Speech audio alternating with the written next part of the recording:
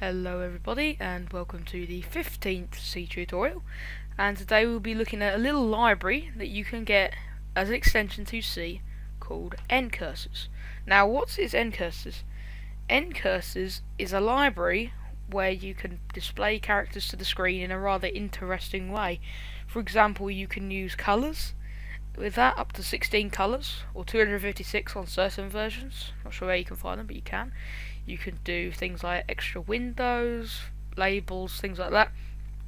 Like if you've ever played things like Rogue, if you've ever played, say, NetHack or anything like that, program with that library. So if you're interested in that, do that. I think I shall make this one a skippable one because I think I might do a few library introductions dependent on where you are in the tutorial in that you'll need to know certain things so you can do them. I should really put this one later, but I thought that I might as well introduce the um, idea that I will be introducing various libraries throughout the tutorial if everybody likes that. So, let's get started. One thing you may notice is that the is actually in 720p this time. Now that's because I have increased the size of the window because I was originally booting it from a regular just bash, not bash script. What am I thinking? I've been on Linux too long. A um, bat script, you know, whereas now I'm just running it directly from the desktop thing. But the only disadvantage of that is I can't use the clear function for some reason. Someone might be able to help me with that, but I've done enough stalling. Let's get started. So, what we do here is that we can keep this if we want. We can. We don't strictly need it though. I will replace it with ncurses.h. Now, I best not capitalise that. What this is is if you I think I talked about this earlier. If not, I'll reiterate it now. So what a header file is is a file that links to certain object files, or not object files. Like like if you've ever seen a DLL, it's like that, but it's different on Linux. I think it's so .so or whatever it is. But so how it works here is that that will import all of the function prototypes that we can ever employ. So like stdio contains printf and scanf, and ncurses includes a majority of the ncursor stuff. There's also other ones as well, but you can read into the tutorial for that. Yeah, so that's what this is going to be. It's going to basically give you the hello world of it, and you can go and find out the rest of the information on your own.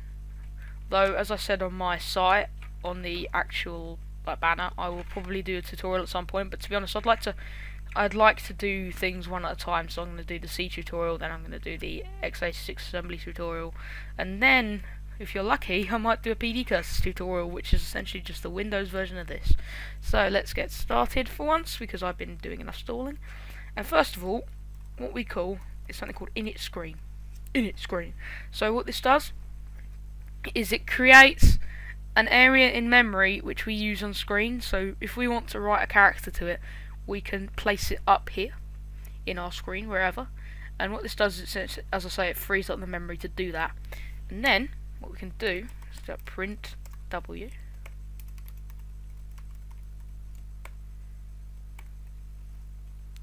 And what this does is it prints it to the the top right hand, left hand corner even, as it does in regular print F, but it works differently as it uses a different buffer. It uses um, the window we just initialized instead of stdir, der, er. You can read into that online. And then what we do here is refresh. And what this does is it essentially rewrites our buffer that we freed up here and writes it directly to the screen and so we see this. And that's how that works.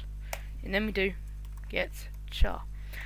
Now if I'll type a bracket 70, what this does is it basically allows the program to stop until the user takes input. So if you type anything on your keyboard, it will skip this ahead. Then we go end win. And what this does here is that it will deallocate the memory from this and deinitialize all of curses. So that's basically our hello world program, but I'm going to show you one more thing before we go in. And no, it isn't the colours. I'd love to do the colours, but the colours is somewhat complex, and I'd have to get into a lot more of it. I will definitely cover it if I do a a proper dedicated PD curses tutorial. So what we can do here is what we do is this allows us to place a character on screen wherever the wherever the hell we want. I almost said the F word there, I don't know why. But this is quite interesting. It specifies where we want it to be placed, but what you've got to bear in mind is this isn't X and Y, it's in fact Y and X, which often trips people up. So you've got to remember, our screen is 80 by 25 in the console, so you place it on the 80 by 25 area. So there's 85, 80 like columns and 25 rows. So we're going to do, say, 40 and then 10. And then we're going to output our char, which will mean at. And what this will do is it will simply output a char. So, thank you for watching everybody. I will be compiling next time because it takes a bit more explanation because it's not just you straight up compile it. You have to do this thing called linking and I'd prefer to do it in a separate tutorial which I recommend you do definitely watch if you're doing the C tutorial. If this was just this is just sort of a meandering point but I think if you want to do anything important in C, you'll need to do some linking, unless you're deciding and doing everything without libraries, which is insane unless you're writing an operating system, or you're just, well, insane.